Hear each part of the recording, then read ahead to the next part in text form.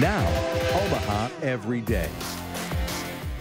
Hi, I'm Dave Webber. This is Omaha Every Day. My guest today is Dr. Joel Schlessinger, board certified dermatologist, and we are talking about something, oh, oh, mm, something that's very current coronavirus. Your thoughts?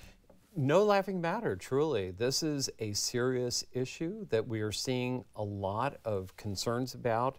As a dermatologist, one thing that I'm very uh, concerned about is just keeping yourself clean. So, and how to keep yourself from having issues. So, you know, one thing that we have in the office is this uh, product called CLN. It's a bleach product that you can clean yourself with this bleach containing product. So, bleach is probably the very best thing that you can use to get rid of germs and it kills almost everything and it's better than not using something that is powerful enough to, to take care of it.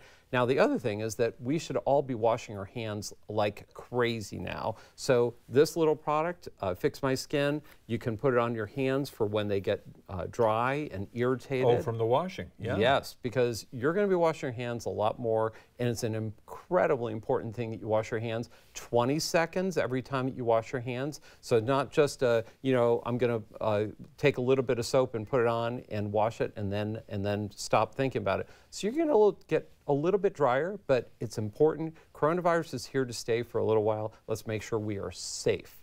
Some great, great thoughts about the problem of coronavirus. Thank you yes. very much, Doctor. Let's all be safe. All be safe. That's what we want. That's Omaha Every Day. I'm Dave Webber. Thank you for watching.